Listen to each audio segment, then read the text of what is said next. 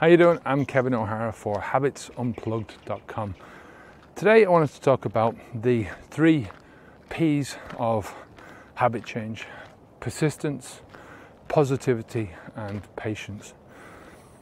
Now, habit change is something which happens over time, right? It's not something that you're going to do within five minutes, you know. I mean, you buy a book and says the five days to habit change, the uh, four hour work week, the uh, seven day solution, you know, the seven day weight loss solution, the seven day uh, alcohol freedom solution, the uh, seven day quit smoking solution. You know, all these things are promising habit change over a very short space of time.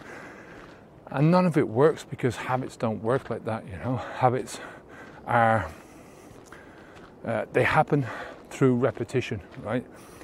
The more repetition, uh, the closer those repetitions happen in time, the quicker the habit will come about. But when you're talking about quickness, you're talking about this in terms of months instead of uh, days, you know. I mean, you can't get into a proper habit, say maybe 250, 256 days, I think, six months or something like that, you know, is the, is the time when it takes to get into uh, an embedded habit where you're doing it subconsciously. And that's the basis of a habit where it's done uh, subconsciously without your really having to think about it. Think about all the things that you do that are habitual, that you don't think are habitual, you know. If you want to know what's habitual in your life, right, take I think about anything that you do, right? And if you had to get up in the morning and think about it, um, you know, imagine getting up in the morning and making a cup of coffee, right? Learning how to use the machine, learning how much coffee to put into the, the, machine or into your cup, or how much water to put into the cup, or when to put the water in, to put the water in first or after, or to boil the water. Um, how, you know, should you boil it halfway or should you boil it all the way? All these kind of things are habitual things that you've done over your life. It's knowledge that you've accessed that you now can do without thinking about it right subconsciously you get up in the morning and you put the coffee on and you go and do other things but you don't really think about the coffee. You don't think about when you're pouring out the coffee and you're putting the sugar in or the milk or whatever you're putting into your coffee right? Um, now if you had to learn that afresh every morning that's when you know it's a habit right? Tying your shoelaces up driving your car uh, going to work um, being at work walking talking all these things are all habitual things that you've learned, you know. I mean, look at a baby.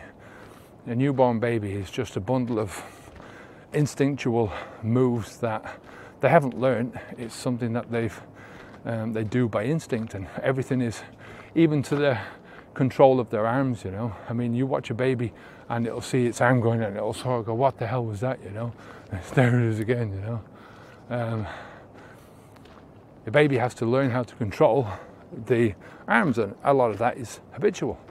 So, habits take a long time to learn, and habits also take a long time to break down and to unlearn. Um, one of the best ways of uh, of unlearning a habit is to learn another habit that's replacing it, right? So you you're sort of using some of the um, habitual neural pathways that you were using for the old habit in order to um, facilitate the implementation of your new habit, if you know what I mean. The first one of the P's is persistence, that you've got to keep pushing, you know, you've got to keep repeating the new habit. You've got to keep repeatedly not doing the, the old habit in order to break down the, um, the old habit. Persistence creates enduring habit change, right? Keeping persistent will make sure that the old habit dies and that it stays dead, um, and that the new habits that you're replacing the old habits with stay alive, right? The next one is positivity. Now, you think about positivity as the fuel for the journey, right? If you continuously tell yourself you can't do this, I can't make these changes, the changes are too tough, the changes are um, not who I am. You know, it's not me as a person. This change. Um, if you keep telling yourself negative things about the new habit that you want to take on, you know, it's not really worth it. Or if you tell tell yourself negative things about the positive things about the old negative habit, let's say, put it like that, then you know you can undo your work very quickly. You know. Um, but positivity, if you keep telling yourself you're on the right track, that you're moving in the right direction, even though you're making mistakes, right? Even though the things that you do might seem tough at the time, you know, and you're having to push yourself through um, discomfort. If you keep telling yourself positive things about it, um, then you're fueling your own forward momentum, your own progress, your own journey onwards and upwards, right?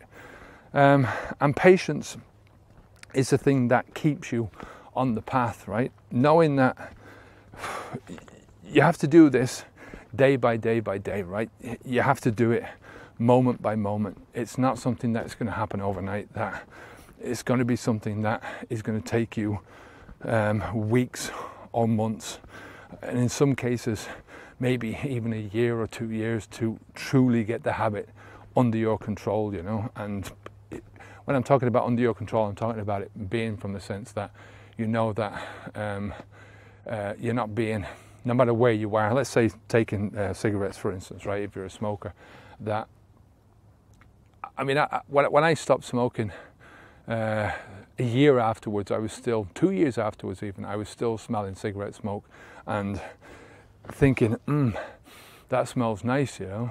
Uh, now, sort of eight years on, and I can say that cigarette smoke doesn't have any positive effect for me anymore. You know, when I'm sat with somebody who's smoking, a, I feel sorry for them, you know, that they're smoking, um, and B, I don't like the cigarette smoke, it should be the opposite way around. A, I don't like breathing in the cigarette smoke anymore. I don't like the smell of it.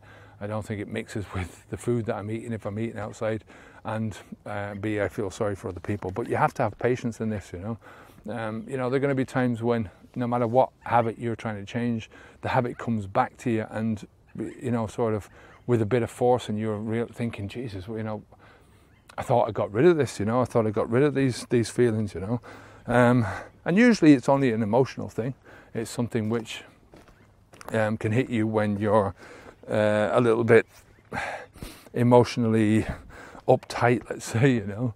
Um, but you know, that this is where patience comes in. Comes in with the, the persistence and keeping yourself positive, you know. So um, always remember those, the three P's. I'm going to end it here. Um, until next time, my name is Kevin O'Hara for uh, habitsunplugged.com. Remember that persistence is the key to success in habit change, right? That failure does not like persistence because failure al will always be defeated. Uh, and the three P's of uh, habit change are persistence, positivity, and uh, patience. Uh, I'm trying to learn these things in my head, so it's taking me a while to get them in there. Uh, persistence creates the enduring habit change. Uh, positivity fuels the journey, and patience keeps you on the road. Take care of yourself. Bye bye now.